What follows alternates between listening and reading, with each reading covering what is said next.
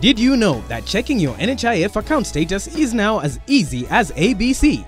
Compose a text message with the letters ID followed by a space and your ID number, e.g. ID 123456 and send to 21101.